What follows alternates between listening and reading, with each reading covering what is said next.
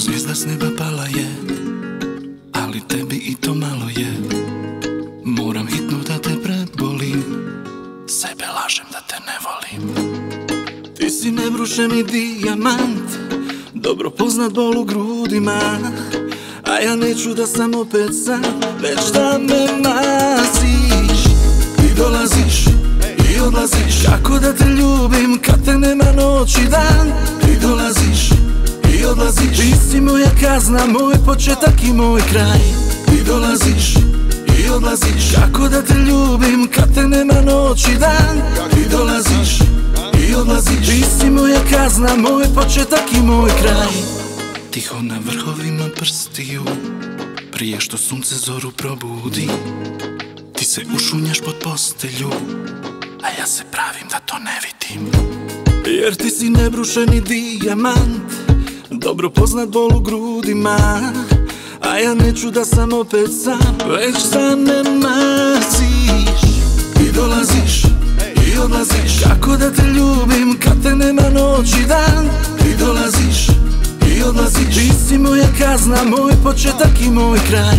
Ti dolaziš i odlaziš. Kako da te ljubim kad te nema noć i dan? Ti dolaziš i odlaziš Ti si moja kazna, moj početak i moj kraj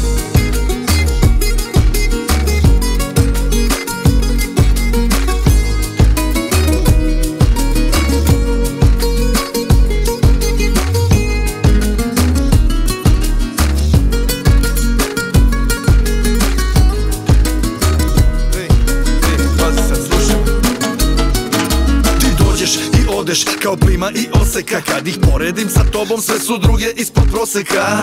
Ti si ručni rad pravljena samo za mene. Pod kožu si mi ušla duboko, tečeš kroz vene. Kao virus koji ruši ceo moj sistem. Sve druge su mi iste.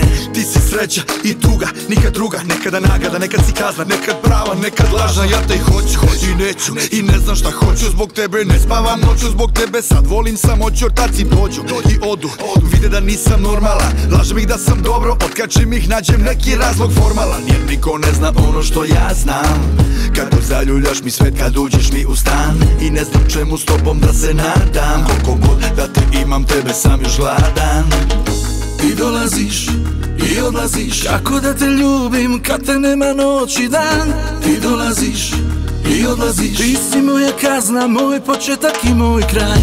Ti dolaziš i odlaziš Kako da te kad noć i dan Ti dolaziš i odlaziš. Ti si moja kazna, moj početak i moj kraj